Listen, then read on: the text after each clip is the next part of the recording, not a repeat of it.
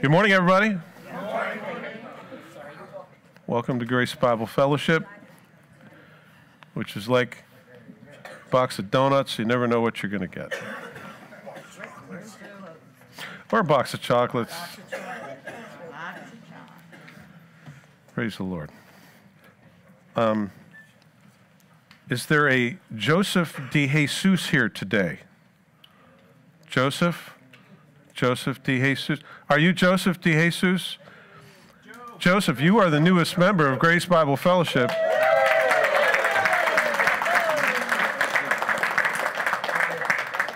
So if you feel like you never won anything in your life, you're stuck with us. I also heard a really corny dad joke. I have to tell it. Because it's St. Patty's Day coming up. And what's Irish and sits on your patio for six months? No. Patio furniture. That's so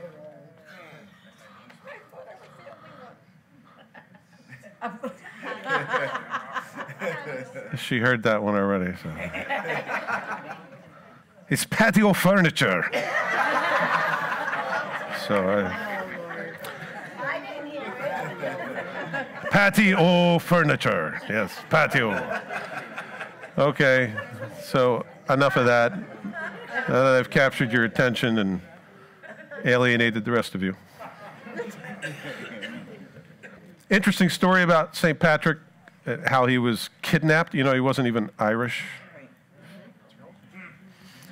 It's interesting. So he, he's kind of like an American.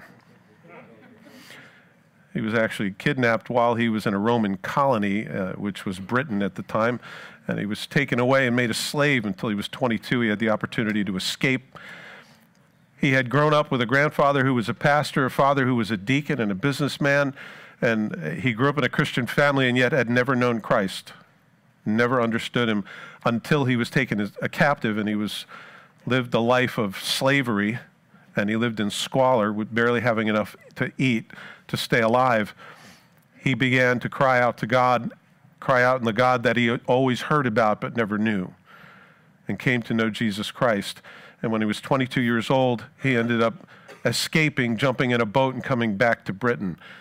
Then, going through education, he had a burden for the pagan people of Ireland and went back and shared the gospel. So that's the real story of St. Patrick. So, all of the greenery and the patio furniture aside, a great man of God who had a heart for souls even the Druids and the people that uh, held him captive and abused him, he wanted to go back and share Christ with. What a great example for us to have a heart for the lost. Pray with me. Father, thank you for this great and glorious day. We thank you for the sun that comes out and melts the frost. We thank you for how you, Lord Jesus, come into our hearts and melt our cold hearts.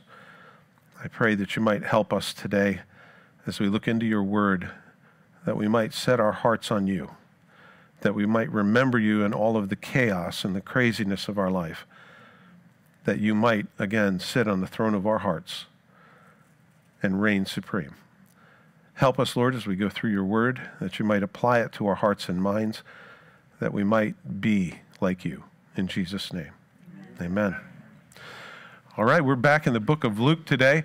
And since I didn't finish last week's message, I'm going to try to finish it this week.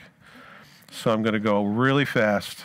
If I go too fast, just raise your hand and say, Whoa!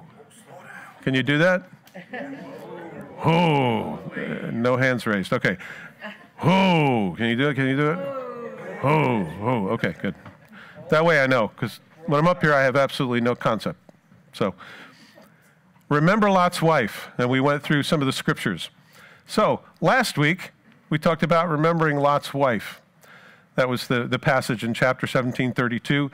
Today, we're going to go through coming, the Coming Kingdom 2, which is the second half of what I didn't finish, and we'll see how far we get with that. If you remember last week, in Luke chapter 17, beginning in verse 20, and when he was asked by the Pharisees when the kingdom of God would come, He answered them and said, The kingdom of God does not come with observation or it doesn't come with scrutiny.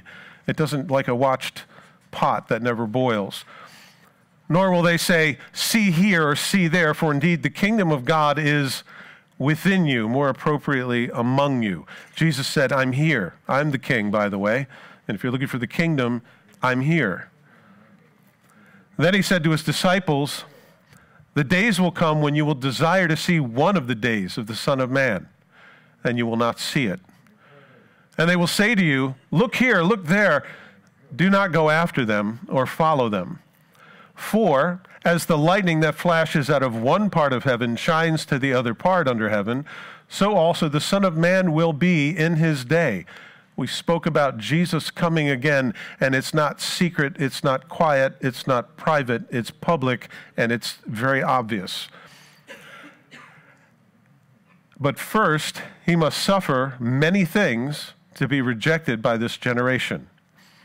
And as it was in the days of Noah, so it also will be in the day of the Son of Man.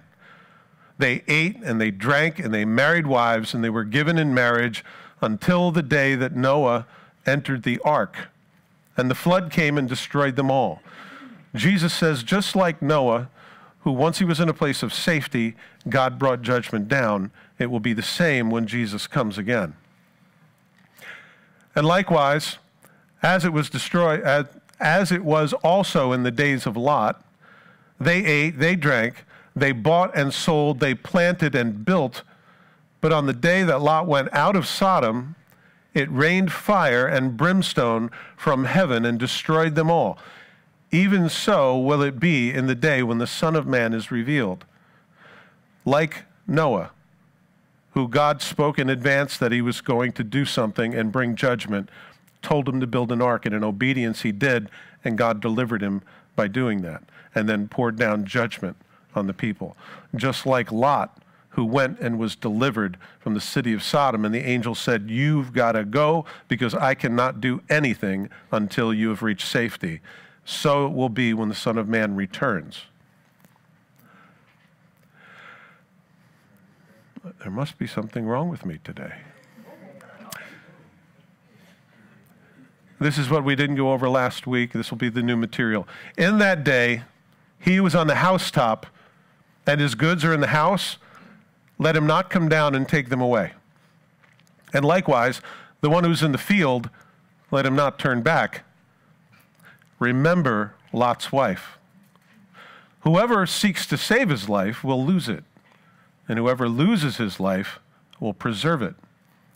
I tell you, in that night there will be two in one bed, and one will be taken and the other left. There will be two will be grinding together, and one will be taken and the other left. Two will be in the field, and one will be taken and the other left. And they answered and said to him, Where, Lord? And so he said to them, Wherever the body is, there the eagles will be gathered together. It's a mystery. So, let's take a look. We remember last week where the angels took Lot out of the town, and he says, It'll be like this when the Son of Man comes. So, we're not to be like Lot's wife looking back. It'll be just like that when the Son of Man is revealed. Peter mentions in 2 Peter 2 4 to 9, For if God did not spare the angels who sinned, but he cast them down to hell and delivered them into the chains of darkness to be reserved for judgment. And he did not spare the ancient world, but he saved Noah, one of eight people, a preacher of righteousness, bringing in the flood of the world on the ungodly, and turning the cities of Sodom and Gomorrah into ashes, condemned them to destruction, making them an example for those who afterwards would live ungodly, and delivered righteous Lot, who was oppressed by the filthy conduct of the wicked for that righteous man dwelling among them tormented his righteous soul from day to day by seeking and hearing their lawless deeds. Then the Lord knows how to deliver the godly out of temptations and to, res- to reserve the unjust until the punishment for the day of judgment. If God can deliver Noah, if God can deliver Lot, God can deliver you. And if he can punish all of those evil people back then, he can certainly punish the evil people of today. Don't lose heart and look around the world and say, oh my goodness, where is God? Because sometimes I feel that way. All you have to do is turn on the news, look at what's going on in Ukraine, and it's absolutely heartrending. God is still in charge and he's doing something. In 2 Thessalonians chapter 2 verses 1 to 12 it says here, "Now brethren, concerning the coming of our Lord Jesus Christ and our gathering together to him, we ask you not to be soon shaken in mind or troubled either by spirit or by word or by letter as if from us, as though the day of Christ had come. Let no one deceive you by any means, for that day will not come unless the falling away comes first and the man of sin is revealed, the son of perdition, who opposes and exalts himself above all that is called God or that is worshiped, so that he sits as God in the temple of God, showing himself that he is God or he pretends to be God. Do you not remember that when I was with you, I was still with you and I told you these things? And now you know what is restraining, that he may be revealed in his own time. You, you know what is restraining God's judgment upon this world right now? The Spirit of God, which dwells in you. For the mystery of lawlessness is already at work. Only he who now restrains will do so until he is taken out of the way the Spirit of God will be taken out of the way, and then God is able to pour out judgment, just like Noah, just like Lot. The coming of the lawless one is according to the working of Satan with all power, signs, and lying wonders, with all unrighteous deception among those who perish, because they did not receive the love of the truth, that they might be saved. And for this reason, God will send them a strong delusion that they should believe a lie and that they all may be condemned who did not believe the truth but had pleasure in unrighteousness. And I said last week the reason that people don't go to heaven is not because they're sinners, because we're all sinners. It's because they haven't accepted the gift of forgiveness through Jesus Christ. And it doesn't matter what your sin is. Amen? Amen. So, moving on to something new. 1 Thessalonians chapter 4, speaking about the Lord coming again, Paul writing to the Thessalonians, But I do not want you to be ignorant, brethren, concerning those who have fallen asleep, or those who have predeceased us, lest you sorrow as others who have no hope. For if we believe that Jesus died and rose again, even so God will bring with him those who sleep in Jesus. For this we say to you by the word of the Lord, that we who are alive and remain until the coming of the Lord will by no means precede those who are asleep. For the Lord himself will descend from heaven with a shout, with the voice of an archangel, and with the trumpet of God. The dead in Christ will rise first. Then we who are alive, and you can see Paul uh, was hoping to be alive at this point and remain shall be caught up together with them in the clouds to meet the Lord in the air. And thus we shall always be with the Lord. And here's the strong admonition in verse 18 Therefore, comfort one another with these words that the Lord's going to come and take us home. That's got to do something to your heart. That you will not be left here when God pours out his judgment. 1 Thessalonians 5 1 to 11 says this But concerning the times and the seasons, brethren, you have no need that I should write to you. For you yourselves know perfectly that the day of the Lord so comes as a thief in the night. For when they say peace and safety, then sudden destruction comes upon them, as labor pains upon a pregnant woman. And they shall not escape. But you, brethren, are not in darkness so that the day should overtake you as a thief. You see, he's going to come as a thief in the night to those who don't know him. They'll be surprised. You won't be surprised because you're sitting here listening to Thessalonians. You are all sons of light and sons of day. We are not of the night nor of the darkness. Therefore, let us not sleep. In other words, don't be off guard. Don't get wrapped up in the affairs of this world, as others do, but let us watch and be sober. It means be level headed, not, uh, not inebriated, but it, it has the same effect. For those who sleep, sleep at night, and those who get drunk, get drunk at night. But let us, who are of the day or of Christ, be sober, putting on the breastplate of faith and love, and as a helmet, the hope of salvation. For God did not appoint us to wrath, but to obtain salvation through our Lord Jesus Christ, who died for us, that whether we wake or sleep, we should live together with him. Therefore, comfort each other and edify one another just as you are doing. Do you understand that God coming and taking us home because of what Jesus has done should bring great hope and comfort to us? And yet, it's not something that I think about on a regular basis. And yet, I'm supposed to comfort you guys with these words. You're supposed to comfort me with those words. We're supposed to do that for one another. Remember that Jesus is coming back. So he says, therefore, comfort each other and edify one another. You will see a very big difference in this scripture between them and us. There's a separation, and it's very, very clear. Picking it up in verse 31, back to our passage in Luke. In that day, he was on a housetop, and his goods are in the house. Let him not come down to take them away. And likewise, the one who is in the field, let him not turn back Remember Lot's wife.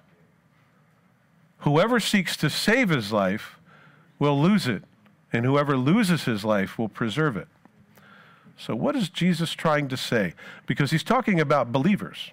He's talking about those, those of us who know and love the Lord Jesus Christ. And he's saying, when this happens, don't go in your house, don't pack a bag, don't, don't do any of that. Why does he say that? I don't know about you, but like Lot Lot's wife, she probably just got her kitchen remodeled or something, you know, and you, are pulling me out. I just got my kitchen, I got a new dishwasher and everything. I mean, and so she was attached to Sodom. The interesting thing is, it, it doesn't say that she turned back like you and I would understand turned back. She turned around and started heading back towards Sodom. She didn't just look over her shoulder to see what was going on and watch the, the, the fireworks. She lagged behind. In fact, she was encouraged by her husband to hurry up. Wives, I'm sure you've heard this before. And she turned around and actually headed towards Sodom, which is a very different thing than just turning around to watch God do his work. That can happen to us if we get too attached to this world, right? What the scripture is telling us is that we need to loose the lure of luxury you know, the, the most important thing is that I have everything I want principle, that I get everything I want, that I eat every food. Uh, what do you feel like eating today for lunch? Oh, I don't know. You know, appetites can have such a very strong hold on us and a strong pull on us. And the scripture's saying, don't get attached to your stuff because when the Lord goes to take you home, you're not going to want to take any of it with you anyway, right? new kitchen withstanding. You know, you, you won't want to you won't want to stick around. So we need to be loosed from this necessity that we have everything that we want and we get everything we desire. Also, don't lag, linger, or look. I hope you appreciate all the L's I put in here because I really work hard on this. Don't lag, linger, or look. In fact, Jesus says in another place, He who puts his hand to the plow and looks back is not worthy of me if you start this thing and you're going to you're going to do the work that the Lord calls you to do, don't turn back around and say, "Oh, remember how good it was?" You know, let me take a look. You know, you can imagine Lot's wife, you know, taking a selfie. Oh, you know, wanting to get in the picture. And we're told to remember Lot's wife for that very reason. Whenever I read about Lot's wife and she turns into a pillar of salt, it always reminds me of Medusa. I don't know if you, you know the, the fable of, of Medusa, and she was a beautiful woman. She was cursed. With, anyway, it just reminds me of that. I just thought I'd mention it. Learn the lesson from Lot's lady. It's not easy to do, guys. It's not as corny as patio furniture. Learn a lesson from Lot's lady. Don't, don't turn back around and look at the glory days. There, there are things that I kept when I was young in, in the faith that used to remind me of the glory days and the times when I would, you know, I'd be out with the boys and we'd party and we'd do these things and, you know. I had to get rid of them all. I had pictures of old girlfriends until my wife found them. We tend to hold on to trophies because we remember those things, and yet I also understand that those things are like serpents waiting to come and bite me. So there are things that we need to loose. Um, I know people that when they, they, used they used to be something when they were young, you know, and they won all these trophies, and they still have these trophies on shelves, loaded with dust from 35 years ago.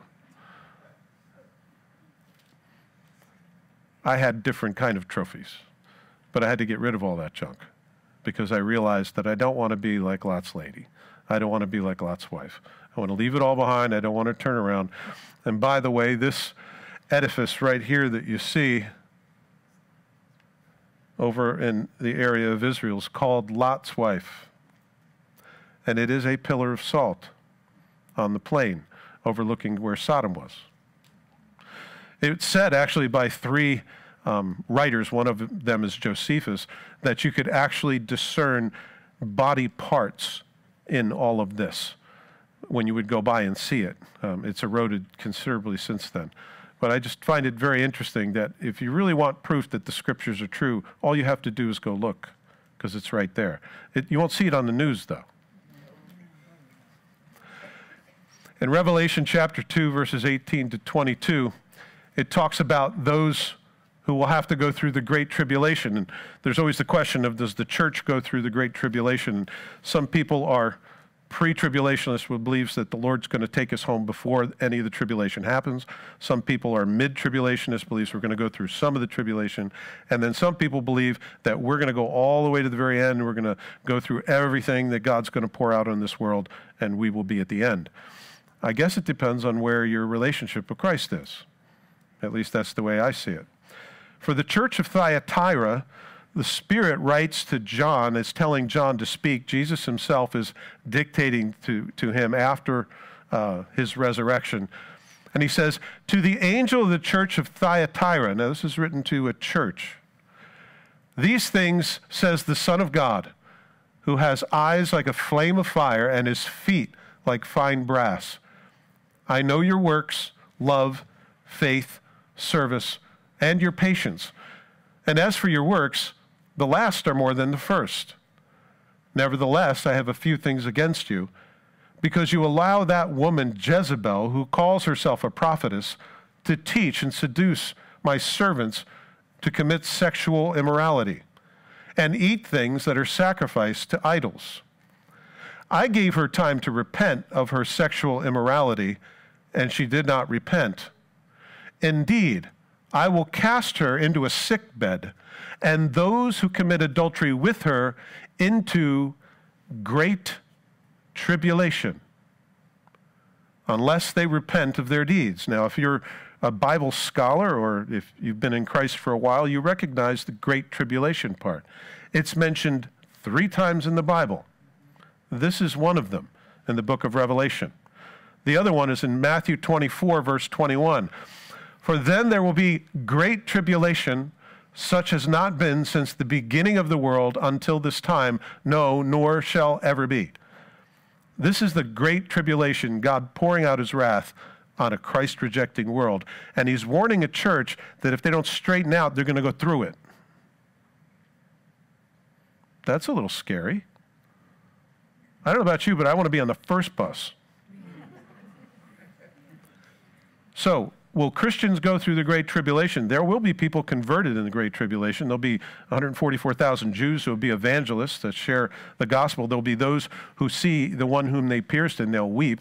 There are people who will come to Christ after the rapture. So, yes, there will be Christians in the tribulation, but I don't believe they, they got on the right bus. They didn't get on the first bus. And the third time that the Great Tribulation is mentioned is Revelation chapter 7. Then one of the elders answered, saying to me, Who are these arrayed in white robes, and where did they come from? This is a picture of what's going on in heaven. And I said to him, Sir, you know. That's a good answer, right? When an elder from heaven asks you, say, Hey, who are these people? And you don't know, it's best to say, I don't know. But you do. You ever have somebody ask you a question they already know the answer to? That's what this is. And it's so that it all get written down. And it's just, I'm glad for it. So, where did these come from? And I said to him, Sir, you know. And so he said to me, These are the ones who come out of the great tribulation and washed their robes and made them white in the blood of the Lamb. So there's testimony that there will be people who come to Jesus Christ only after we're gone. Because that would be a pretty convincing truth, wouldn't you think? Mm-hmm. Hey, this person that preached the gospel to me all the time, they're gone. Poof.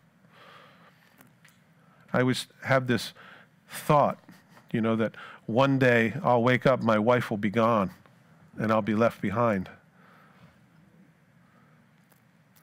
I, I know of somebody that actually had that very occurrence happen, and they thought their husband was gone. And they looked everywhere for him, couldn't find him. Finally, he was sitting in a chair, kind of reclined back because he had a little bit of uh, reflux trying to sleep. She thought the rapture had happened, she got left behind. Because the scripture says there'll be two, and one will be taken. I tell you, in that night there will be two men. By the way, the word man is injected there. It's not in the original manuscript. Because two men in a bed is a little weird. By the way, it's not in the original manuscript. That's why you find it in parentheses. So that's why I didn't read it when I initially read it, because it's not in the original. At night, there will be two in one bed. One will be taken and the other left. Two will be grinding together. One will be taken and the other left. Two will be in the field. One will be taken and the other left. And they answered and said to him, Where, Lord? Meaning the disciples asked him. And so he said to them, Wherever the body is, there the eagles will be gathered together. Isn't that a mysterious phrase? It's great. You think my job is easy, right? There'll be two together in bed, and one will be taken and one will be left. Can you imagine the tragedy of having a loved one go to be with the Lord and you didn't get on the bus? There'll be two together grinding in a mill, and one will be taken and one will be left. There'll be two in a field, one will be taken and one will be left. By the way, I want you to recognize that in the scenario number one, it's dark, it's nighttime when people sleep. Day two, when you're grinding, that's at the end of the day when you've taken in your fill. And then the third one, the ones in the field, that's the morning. Jesus just said exactly when he's going to come. Somewhere it will be night, somewhere it'll be afternoon, and somewhere it'll be morning. The scripture teaches that the world is round. Did you know that? That there's light and darkness all going on at the same time? That's why the Lord didn't leave us what time, because, you know, it's always 12 o'clock somewhere, right? Anyway. This is a global event, and because the world is round, Jesus describes this, and there's going to be nighttime, there's going to be afternoon, and there's morning. All of this is going on, and when Jesus comes back, there's going to be a separation. There'll be one that's taken and one that's not. And I don't know about you, but that, that makes me think who do I want to leave behind? Nobody. So who should I be telling the gospel to? Everybody. In Matthew chapter 25, I won't read it to you, you know the passage. It's where Jesus separates the, the sheep from the goats. And the thing is that there is a separation between those are, that are his and those that are not. And God separates one from another. The people that you don't want to be separated from, make sure you share the gospel with. Because I don't I don't want to be separated. Tell them that their sin can be forgiven, their life can be changed. They can be born again, they can be a new creature where all things are are gone and the new things have come. And without that, we're going to have to stand in judgment for all the things that we've done in the body. Now, those of you who are a little more sensitive uh, to your own failings, you'll understand that there's no way you're going to stand before the Lord and give an account for the things that you've done in the body.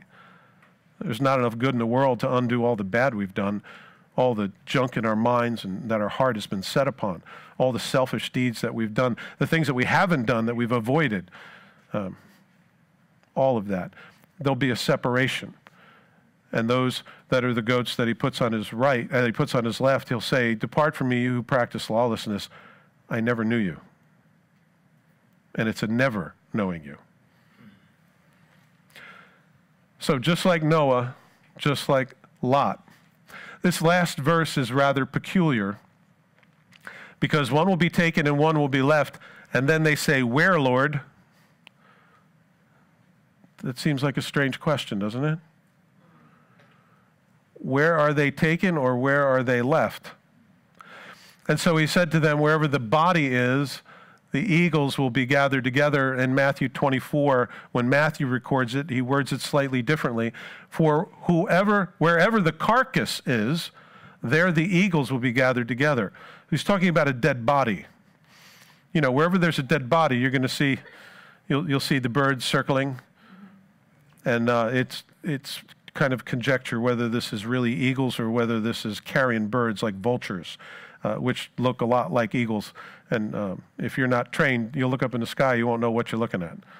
Is that a, is that a turkey vulture? Or, until you see all that red, floppy weirdness on their face, uh, you don't know what it is.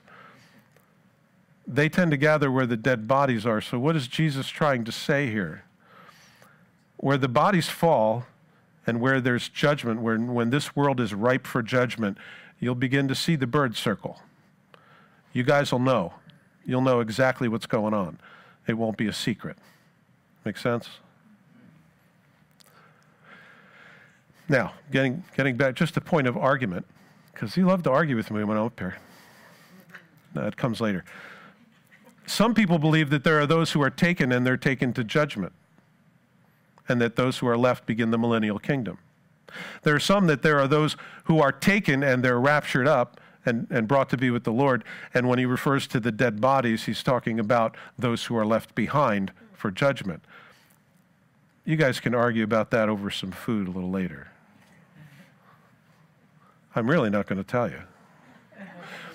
1 Corinthians chapter 15 verses 50 and following is now say now this I say brethren that flesh and blood cannot inherit the kingdom of God.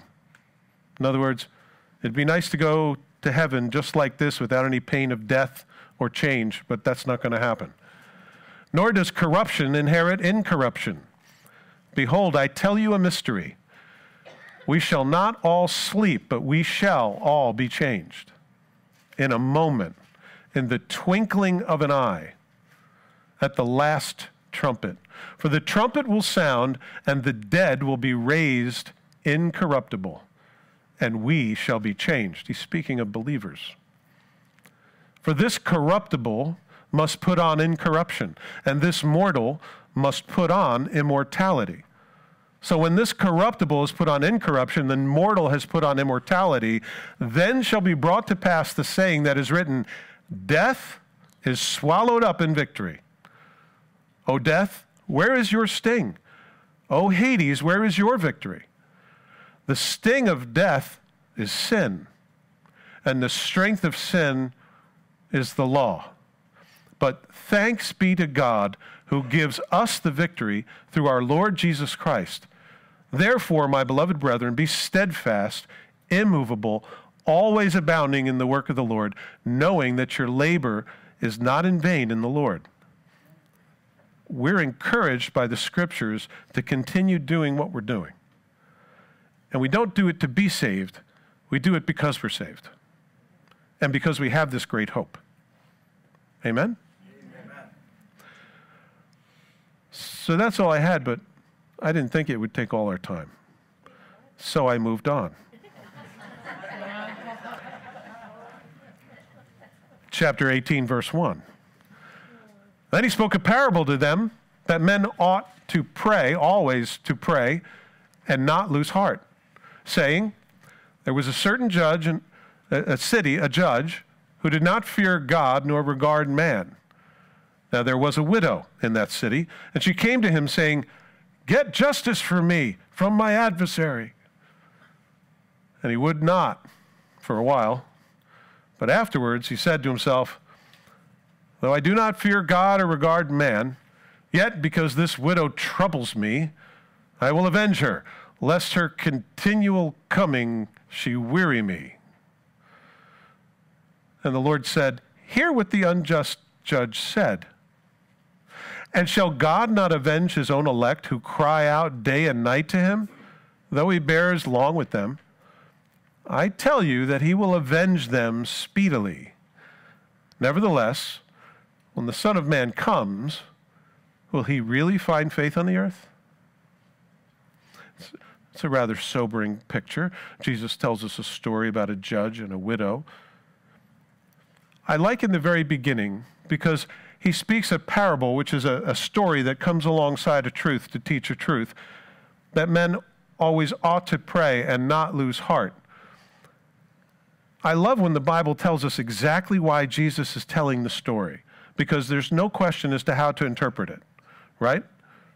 He says, this is why Jesus told this story, so that people would always pray and not faint, and they would be faithful to do so. There's a purpose statement for this little story, which helps me to understand it very simply and makes my job very easy. We should always pray and we should stay strong in our prayers. Because God doesn't listen or we don't believe God has answered our prayers up to this point in time doesn't mean that He won't. And it doesn't mean that He doesn't want to. And sometimes we get, we get a version in our mind that God is like our earthly father. Any of you have that problem?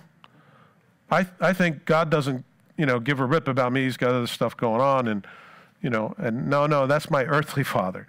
My heavenly father, on the other hand, he says that he, he looks at me all the time.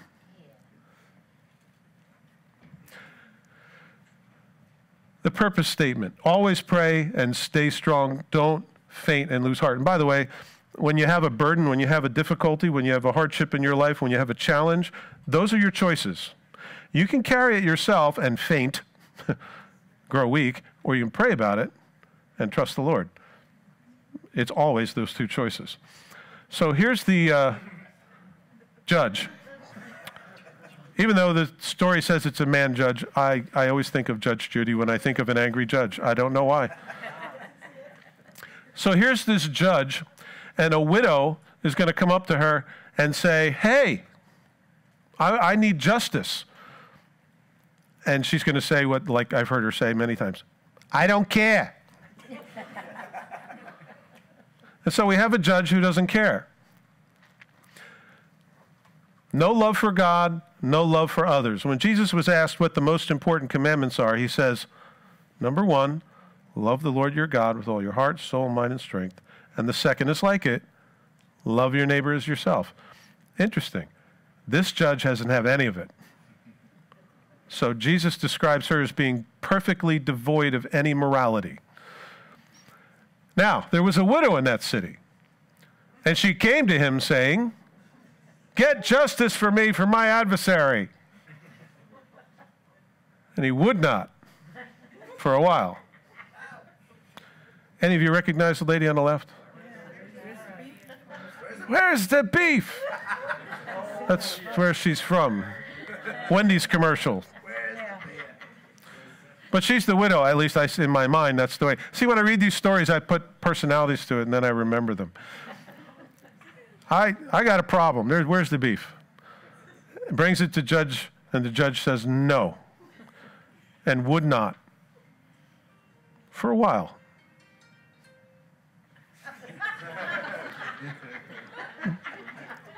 but afterward, he said within himself, Though I do not fear God nor regard man, it's interesting the judge understands that, yet because this widow troubles me, I will avenge her lest by her continual coming she weary me. So the judge said, Okay, I'll do it. Why does the judge listen to her? Because I hate nagging. I hate nagging, and I, uh, you're going to wear me out with all your nagging. In, in, nagging does, do you guys know nag, nagging? Is that a word? Yeah. Do you guys understand nagging? Yeah. Nagging? You don't have, you don't ever nag, I'm sure. That's terrible. You might remind someone emphatically, repeatedly, but you don't nag, I'm sure. It's funny how words can change. Anyway, this judge said, You're going to wear me out, so I'm just going to do what you say because you're wearing me out. And that's the way people think God is. I'm going to wear God out. I'm going to pray and pray and pray, and He's going to do what I tell Him to, or I'm going to nag Him. You think God is frustrated or upset by your nagging? You think He's like a man? You think He's like me? No, it's not like that at all. Jesus is going to bring it home. Then the Lord said, Hear what the unjust judge said. And shall God not avenge his own elect, who cry out day and night to him, though he bears long with them? I tell you that he will avenge them speedily. Nevertheless, when the Son of Man comes, will he really find faith on the earth? Jesus is contrasting the angry, godless judge with Jesus. And they're not the same at all, although people think that they behave the same. Do you think that God will answer you when you pray? The scripture says yes. I think our problem is we don't we don't seek God for what to pray for and we pray for stupid things. Like my back's hurting right now. Is that, a, is that something I should pray about? I should pray about everything. My car needs a car wash. Pray that God brings rain with soap. we tend to pray really bizarre things, and if, if you flip through the television channels and the Christians' cable, you'll, you'll find them. And yet, there are things we should be praying for. I hope you're praying for the Ukraine every single day. I hope you're praying for Putin every single day. Either God judge him, or God take him out, or God save him. I hope you guys are praying instead of bearing that burden because I've struggled with all of that. What do I do? You know, do I grab a gun and fly to the Ukraine? You know, what do I? Sometimes I feel like I want to do that. Our Heavenly Father loves us so much that He sent His only Son to die for us. Romans tells us, How will He not, along with all these things, uh, along with Christ, give us all other things? That's the love of God for us. And all we have to do is ask Him. And if we ask amiss, like a child, like ask Daddy to play with the, the sharp knife, He'll let you know so we can pray to our Heavenly Father. A couple of interesting things. Jesus is talking about praying for His kingdom to come, I think, because it's right on the heels of the rapture. He's talking about praying for that. In 2 Peter 3, chapter 3, verses 1 to 13, it says, Beloved, now I write to you this second epistle, in both of which stir up your pure minds by way of reminder. You see, he's not nagging that you may be mindful of the words which were spoken before by the holy prophets and of the commandments of us, the apostles of the Lord and Savior. Knowing this first, that scoffers will come in the last days, walking according to their own lusts, and saying, Where's the promise of his coming? For since the fathers or our ancestors fell asleep, all things continue as they were from the beginning of creation. Nothing, nothing's changed. Where's God? For this they willfully forget that the Word of God, by the Word of God, the heavens were of old, and the earth standing out of water and in the water, by which the world that then existed perished, being flooded by water. So God created the earth, and it was completely covered with water, and then He made land appear, which came up out of the water, and then what did he do to reverse the process? He flooded the earth and everything went back underwater. By the way, God did that. There's evidence of it geologically throughout the entire earth. It's very easily seen. But the heavens and the earth, which are now preserved by the same word, God's word, are reserved for fire. By the way, God promised He would never destroy the earth with water again. But fire is going to be the destruction of this world until the day of judgment and perdition of ungodly men. But, beloved, do not forget this one thing that with the Lord, one day is a thousand years, and a thousand years are as a day. In other words, don't think He's going to work on your calendar.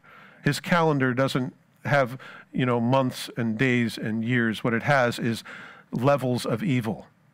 And that's His calendar. It's more of a barometer.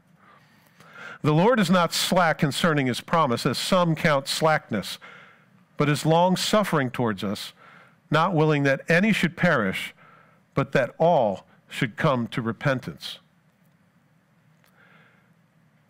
But the day of the Lord will come as a thief in the night, in which the heavens will pass away with a great noise, and the elements will melt with fervent heat. Both the earth and the works that are in it will be burned up. Therefore, since all these things will be dissolved, what manner of persons ought you to be in holy conduct and godliness, looking for and hastening the coming of the day of the Lord, because of which the heavens will be dissolved, being on fire, and the elements will melt with fervent heat? Nevertheless, we, according to the promise, look for a new heavens and a new earth in which righteousness dwells. Peter is giving us a breakdown on how everything is going to cut loose on this earth and how everything is going to be judged by fire. It sounds like a nuclear issue, doesn't it? I am not surprised.